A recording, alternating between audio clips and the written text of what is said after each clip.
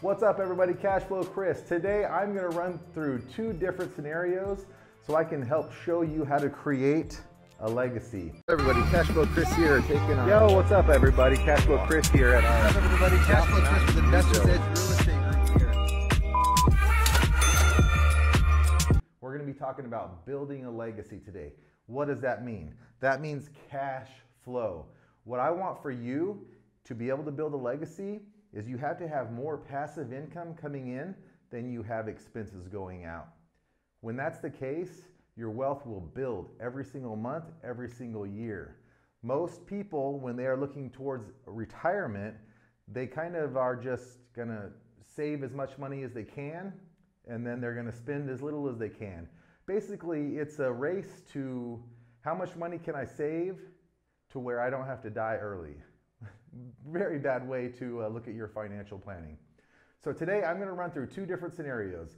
We're going to start with a small, small amount of money, $15,000, something that's attainable to most uh, Americans.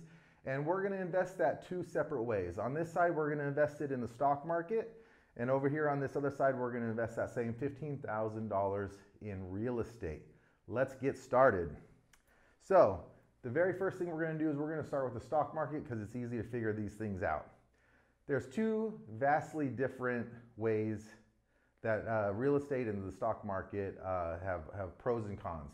One of the biggest pros for real estate that the stock market doesn't have is leverage. Being able to leverage your money makes all the difference. The inability to leverage on the stock market side of things is what's really going to limit your uh, capabilities to grow wealth, okay? So let's get started. First of all, we're going to start over here on the left-hand side with the stock market side. I've already done the math, so I'm just going to run it through you guys. Pull out your calculator because I want to make sure you, uh, my numbers are right and I want to make sure that you see how this works. Okay, so let's get started over here with $15,000 on the stock market, okay?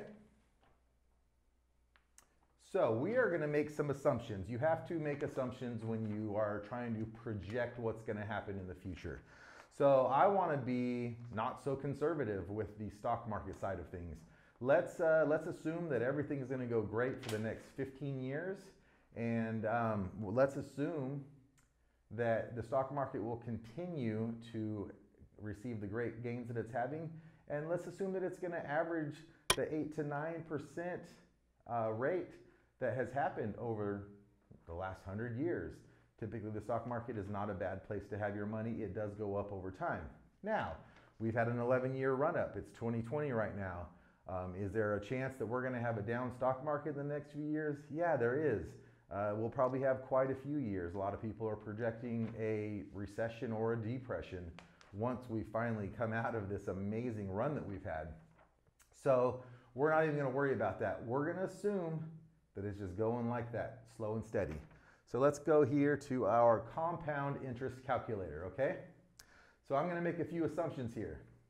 We're gonna assume that you're, you have an initial deposit of 15,000, zero contributions, you're just putting the 15,000 in one time, over 15 years, and we're gonna give you an estimated return of 8% compounded yearly, okay? So you're never pulling the cash out. Uh, anything that goes in stays in, and then each year it's going to compound. So you can see over here, not bad. $15,000 turned into $47,583. Okay, let's go over to our whiteboard. So in 15 years, it's worth 47 $583. Okay? That's what's happened to your stock account. Now remember, you can't leverage. So you have 15,000 and that's all you have to work with. Um, on the real estate side, we'll show you you can definitely leverage and you can buy bigger assets with the same amount of money. But on this side, you're not able to. So you are growing from 15,000 to 47,000 in 15 years, okay? So I want you to ask your financial advisor this. If I now have 47,000 and I'm ready to retire. I'm not ready to be aggressive with my money anymore. I want this 47,000 to earn me income. and I don't want it to go down. It has to be in a safe investment.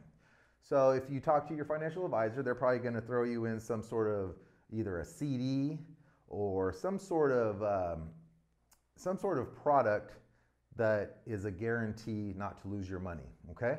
Now, typically, those provide very low returns. Your typical CD these days is going to be one to two percent interest.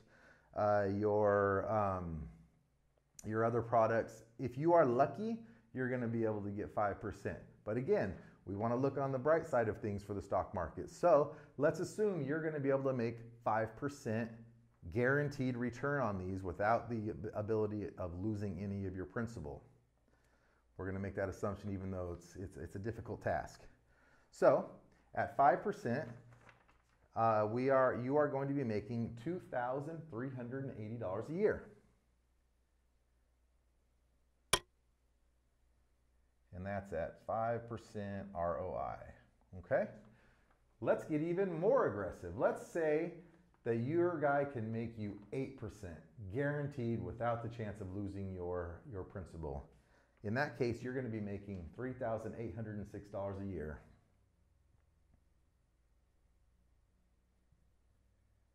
Okay? So that's where we're at. That side is done. It, as you can see, has compounded it has gone up, up, up, up, up. We're not assuming you're going to have any down years. We're also not assuming you're going to have any crazy 15 to 20% years. Nice, slow, and steady. This is what your financial advisor tells you will happen if you hold for the long term, right? Okay. So, not bad. We're not we're not unhappy with this, right? Not a bad way to uh, to invest. Until you find out the power of leverage with real estate. Now let's look at what real estate looks like. It's a lot more complex. Um, you can be as involved or not involved as you want. Uh, most of our investors are not involved at all. They make the initial investment and then they, it's just a hold and wait period. So let's go over this. Put it in blue. So 15,000 in real estate means you can leverage, okay? So that is going to get us a $60,000 property. And let me show you how. So this is a very typical, I'm going to be talking about a very typical type of product that we work with. We are currently heavily invested in the Cleveland, Ohio market for several different reasons. And this is a typical single family that we sell to our clients. This is the purchase price.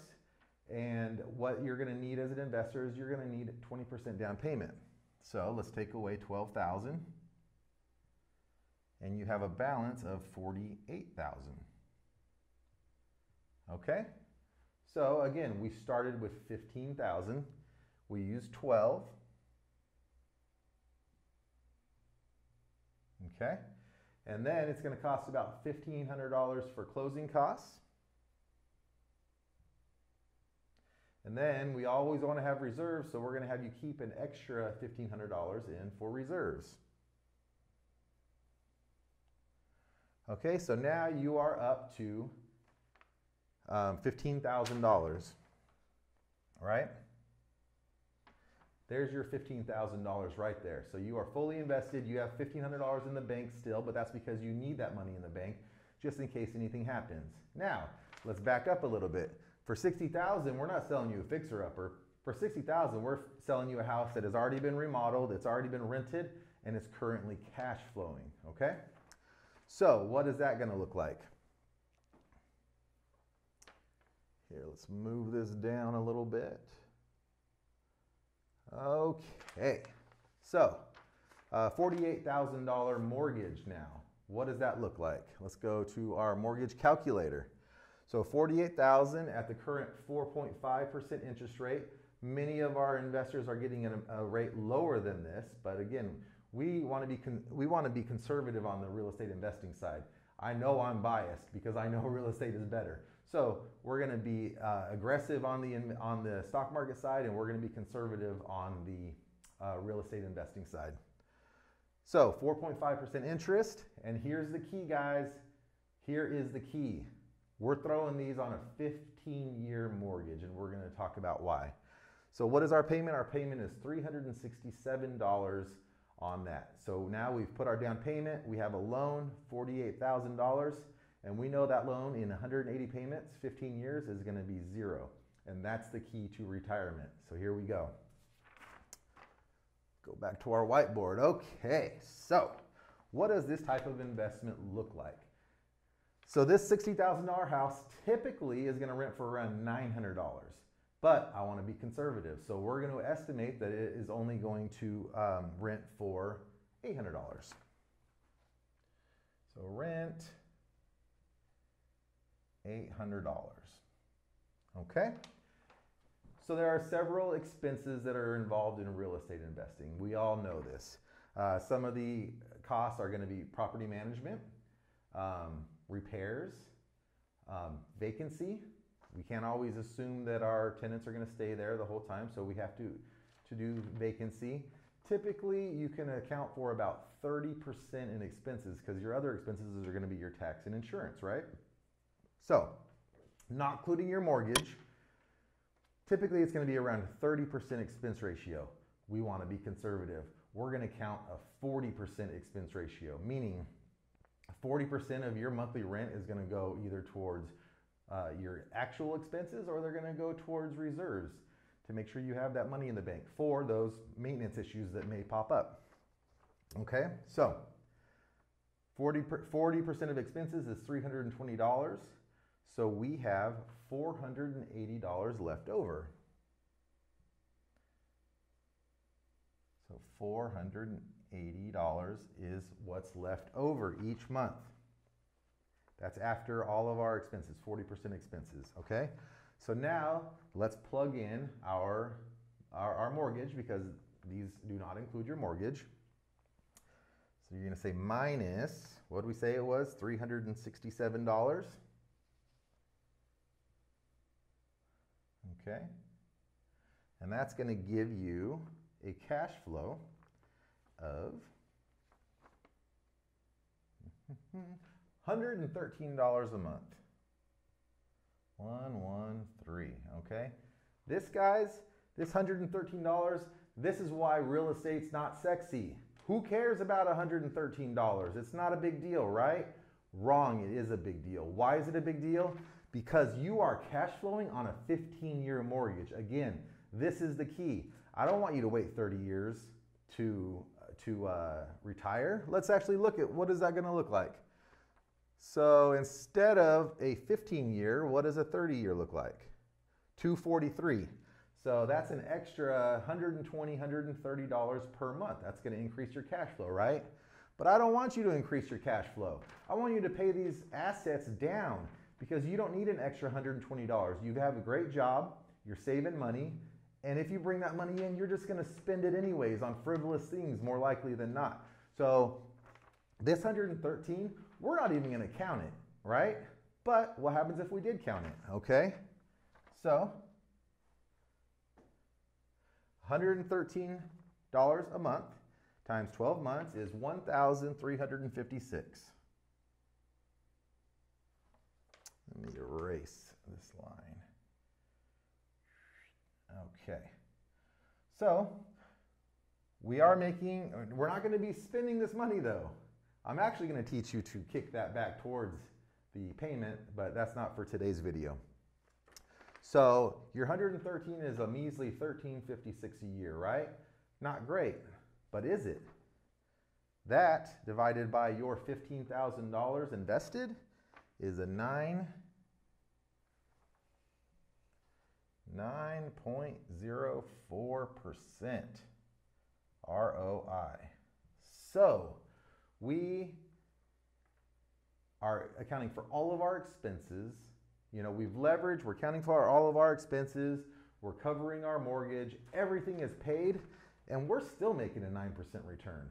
Right off the bat, you're already beating this 8% that they're telling you is so good. Okay? Let's not worry about that though, okay? Because that's not, that's not an issue. So 9.04%. There's other factors that you may not know about. So one of the big things is we're on a 15 year mortgage, guys. So that means every single month, every single year, your mortgage is getting paid down. In fact, the very first year, your mortgage is going to be paid down $2,293. 2293 plus your 1356 cash flow equals uh, 3649 which is when you do the math 3649 divided by $15,000 invested is 24.3% ROI. Now you're making, in reality, triple what the stock market is going to make. But I digress. Again, we're not pulling this out, and this is just equity anyways. There's nothing you can do with that unless you sell. And we're never going to sell these properties because this is how you're going to build generational wealth. This is how you're going to build a legacy, okay? All right, hopefully everybody's caught up. We're on a 15 year mortgage, we're cash flowing a measly little $113 a month. Money we're never gonna spend, it just keeps going back in the account. We're not worried about it. And uh, each year, the very first year, it's paid off 22.93, and it'll be paid off more every single year. So where are we at? We know at the end of 15 years, we're going to have a property that with a zero mortgage. That's the goal. In 15 years, your mortgage drops off, your 367 drops off, and that becomes pure cash flow. Okay? So that's what our numbers look like right now. Let's fast forward. So now 15 years has gone by. Okay, you're 15 years older. You're probably looking forward to retirement. I don't want you to retire at 60, 65. I want you to retire at 50. I want you to retire at 45. The sooner you get started with this plan, the 15 year clock starts. Okay? So, so let's get going. So now we're 15 years older. We got a little bit of gray in the beard. But what does our investment look like? Now, real estate, again, we have to make assumptions. Typically, real estate will double in value. Real estate prices and rents will typically double every 15 years but we want to be conservative. We're not going to assume that this property is going to double. We're going to assume that it's going to go up in 50, by 50%. Very conservative numbers, okay? So now our property is worth 90,000 But more importantly, our income, our rent has jumped from 800, 50% more is $1,200. Okay? Now, our rent increases, but our expenses are also going to increase. So we're gonna, again, we're gonna pull 40% expenses out of it, which uh, leaves us with 720. So minus 40% equals uh, $720. So now our expenses are paid. We have 720 and we have no mortgage. Your mortgage is paid off, it's zero. So what do you have? You have $720 per month cash flow. What is that on a year? Times 12. You now have $8,640. And you had your original $15,000 investment, right? So now you're making a whopping 57% ROI.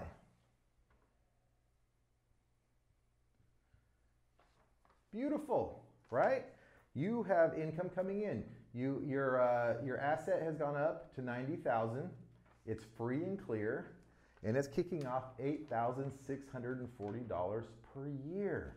This is after all your expenses. This is after vacancy after repairs, after all these expenses, you are still positive $8,640, okay? Maybe that still doesn't impress you, even though it should. Let's have a look. What does this mean? Uh, so if we go back and we, and, we looked at how much money is our stock market investment going to make,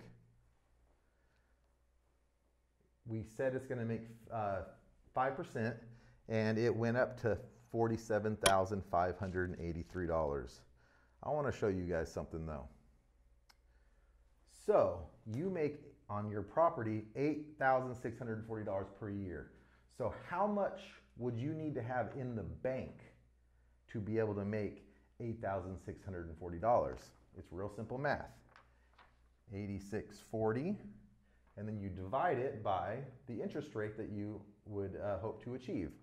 So if we're in the stock market, 0.05%, that's what we, we assume would be a safe conservative where you're not going to lose your money. So, in order to receive the kind of cash flow that this property is giving you, you need to have $172,000 in the bank. Do you have that with the stock market? No. It's only grown even with uh, very non conservative numbers, even with aggressive numbers, it's only gone up to $47,000. That's why you're only making uh, $2,300 a year. That makes it so much more difficult. So you've invested this 15,000, it's gone up to 47, but again, your your account your uh, financial planner, they don't know how to turn these into cash flow where it's safe unless they turn it into like a CD or something that's guaranteed. Ask your financial advisor, call them right now. Hey, if I, once I'm done and I'm ready to pull out of the stock market and I want something safe, it's not going to lose value, it's going to give, give me guaranteed returns. What kind of returns can I expect? What kind of product are you going to put me in? Call them, ask them that. I guarantee you that it's not going to be more than 5 or 6% on the on the good side. Really, it's probably going to be more like a 2 or 3%, okay? So, 172,000 versus 47,000. Are you ready to save that kind of money? Okay? Doubtful, doubtful. Okay, so that's where we are. So as you can see, 8,000, oh, well, I can't live off 8,000. Well, that's okay because we're only taking 15,000 to turn it into $8,000 a month or a year. Think about that. You're going to invest $15,000 now and in 15 years, you're going to be making over $8,000 a month, or I'm sorry, a year. That's not bad, okay? So let's 10x this. So let's say over the next five years, you find a way to build, to buy 10 of these, okay? So if you bought 10, 15,000 times 10 equals now you're investing $150,000. Not crazy, not crazy, right? So if you do it my way, you're going to have, oops, I got my numbers here. I don't need to do that. So you're going to have 8,640 times 10 So, and that's your monthly, I'm sorry, that's your yearly. So now you have $150,000 has created $86,400 a year. Who can live off 86,400 a year off 150,000 invested, right? Not bad. Because look what happens if you do this over here. Your 15,000 turns into 150, but you're only going to be making $23,000. Would you rather live off 86,000 or would you rather live off 23,000? You know, are you going on vacations at 86,000 or 20,000, right? You're not doing anything at 20,000. You're poor. You're especially in 15 years, you're extremely poor. And now I know this is off $150,000 invested, but extrapolate it out. How much money do you have? How much do you need to save? So let's talk about that. Let's just say so in 15 years with inflation and as all costs increase, I am going to imagine that 100,000 a year would be approximately 60,000 now. 60,000 is a, a, fairly comfortable lifestyle. You know, you're not you're not a jet setter, you're not going anywhere, but your bills are paid, you're comfortable, you have excess money. So I'm going to assume in 15 years you're going to want a minimum $100,000 income right? So if we do 100,000 divided by 12 months, that equals you're going to need $8,333 a month. Oops. Let's not even do that. Let's do this 100,000. So if you are in the stock market, How much money do you need in your bank account to keep your money, not spend it again? Don't give me that crap because we're talking about building a legacy. The way you build a legacy is you don't spend your money. It means your money makes more money than you spend, right? That's how you build a legacy. So don't give me this, oh, I don't need that much money because eventually because do you want to live to where, hey, I have X amount in the bank, I spend X amount per year, therefore I can live 15 more years? Do you want to put yourself on a clock or do you want to live for as long as you want to live? That's what that's what the difference is here. A lot of people actually look about that. Oh shit, I only have $200,000 in the bank. I spend this much. My 200,000 only makes me this much. That means every single month I'm losing, losing, losing. Every single month I'm making less and less and less. That's what your financial advisor is teaching you, and that is not the way to build wealth. This is how you build wealth. So if you want $100,000 and your uh, financial advisor can get you a 5% guaranteed return, this is how much money you need in the bank. You do divided by 0.05 equals $2 million. Are you going to save $2 million? If you're invested over here in the stock market, are you going to save and earn $2 million. Doubtful. Most people will not be able to do that. You're only saving 150 in this scenario, okay? So that's why I teach real estate. You have to be able to leverage. You cannot leverage in the typical stock market. The way to leverage is to do more aggressive and very dangerous types of plays. Leverage in real estate is safe. You're covered you have an asset that cash flows. You have an asset that brings in money every single month. So you are covered. So to wrap this video up, I hope this all makes sense to you. I know there's a lot of math involved, but really all you need to know is can I leverage and how much money is my money going to make and in how many years is it going to take to do that? We know if you borrow this 48,000 on a 15-year mortgage, 180 payments, it's zero. It is. It's math. That's how it works. Okay, so I want you to do this 10 times. I want you to do this 20 times. What if you took uh, $300,000 eventually over the next five, 10 years? You saved up, you grew your money, $300,000. Um, I mean, that's going to be some serious cash flow. That's, that's 20. So that's $8,600 times 10 would be 80 times 20. That's $160,000. And that's fully attainable. It is. Worry about buying one, two, or three a year for the next five years. And in 20 years, you are going to be financially free. Not only are you going to be financially free, you're going to be a millionaire. And maybe you don't need all that money. Well, you just need to buy even less. I can live off 60,000, right? Eh, or 80, 86,000. If you think you can live off 86,000, terrific. You only need to buy 10 of them. Okay? So, that's where we're at. I hope this was an, a great video for you. I hope it opened your eyes to the power of real estate. Now, as I finish, I want you to go to your financial advisor and I want you to ask them a few questions. First of all, how's my retirement going? Ask them that. Um, in February 2010, the stock market was at 10,268 on February 16th, 2010. Today's February 10th. Today, the stock market is a little bit under 29,000. So the stock market has just about tripled in the last 10 years. Don't get me wrong, the stock market's fire. The stock market is doing amazing. A lot of your retirement funds are doing great, but are they matching the market? Is your financial advisor putting you in the right investments or are they being too conservative in this amazing market? Uh, so go and ask, say, hey, what was it worth in 2010? is it worth triple now? If it's not, you have some serious issues. Secondly, um, if it hasn't, why not? But uh, the second question I want you to ask your financial advisor what fees are involved, right? Because they don't talk about that. They don't want to do that.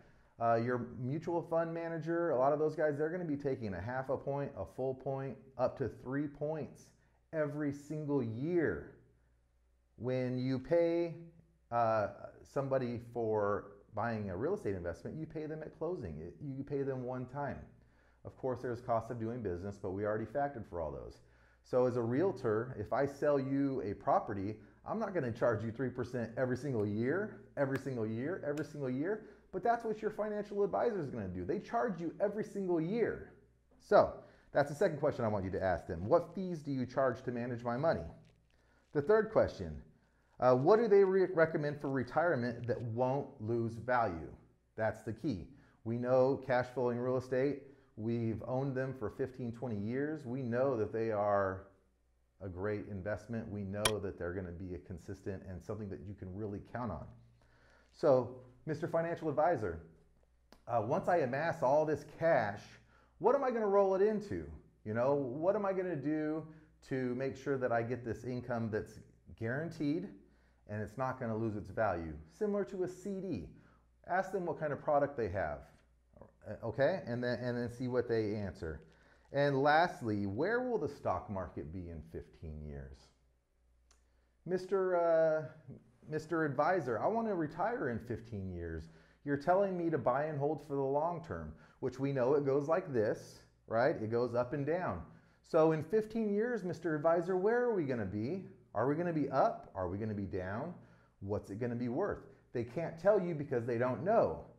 Now you ask your real estate advisor, Mr. Real Estate Advisor, I'm going to borrow $48,000. In 15 years, what's my balance going to be? It's going to be zero. Now you can also ask me, what's my property going to be worth? And you know what? I can't answer that because I don't have a crystal ball. But here's the key it doesn't matter. You're never going to sell this property because this property equals cash flow. That is the key. It equals cash flow. Okay, so those are the four questions. How's my retirement grown in the last 10 years? Has it tripled? If it hasn't, get a new financial advisor. Uh, two, what fees are they charging you every single month, every single year? On that, how can I reduce that? Is, can you, will you charge me less? What can I do to reduce those fees? Uh, third, what do you recommend for retirement that won't lose value, be it CD, mutual fund, and number four, where will the stock market be in 15 years? They don't know because they don't have a crystal ball either. They're going to tell you it's going to average 8%. They're going to tell you it's going to be up here. But again, guys, 11 years we've been on this run. If you think it's going to keep going forever, you're crazy. Um, I have a story that I just want to tell you guys, and I want you to really take this to heart. So, growing up, we had a great family in our neighborhood. Uh, the two people, they worked great jobs at a local local company. We won't get too into the detail because I don't want to divulge any information. But they worked at, let's just call it Intel. They didn't work at Intel, but it was a place very similar to Intel. They both worked there. They made great salaries. They saved up a million dollars for retirement. Uh, like, how hard do you have to work to save a million dollars? They had this ready to go, ready to retire. And then 1999 hit right? Financial collapse. What happened? Their million dollars went down to $500,000. Shit, I guess we can't retire. So they keep working, keep working. He retires, she keeps working. Boom, boom, boom, boom. A million dollars. We have a million dollars again. Boom, 2008 hits. Lose half again. You have to be cognizant. You have to pay attention to what's out there, guys. Buy and hold is for suckers. Your financial advisor wants you to leave that money in because he gets paid every single year. That's why he wants you to hold for the long term. That's why they give you that BS advice. If you were smart and you paid attention, you're you would have been out of the market. Maybe not in 07, maybe you would have gotten out. Maybe in 08 you wouldn't have. But 09, as it's still tanking, tanking, tanking, get out. Put your money on the sidelines, let alone in a better investment. If you would have just put your money on the sideline as it's tanking, you get out here, you watch it tank, you watch it bottom, and then you get back in here, you're, lo- you're missing that bottom. But the Dave Ramseys of the world, they don't believe in that. They tell you, they think you're an idiot. They want you to hold for the long term, hold for the long term. That's a bad plan. The stock market is a roller coaster ride, and you don't know where it's going to be when you're ready to get off. This is Cashflow Kris. I hope this was very helpful for you. If you want to set up a one on one consultation, I can set you up on one of these plans to make you wealthy. Again, we're talking about building a legacy. I want you to build generational wealth, and real estate's how it's done. Cashflow Kris, and I'm out.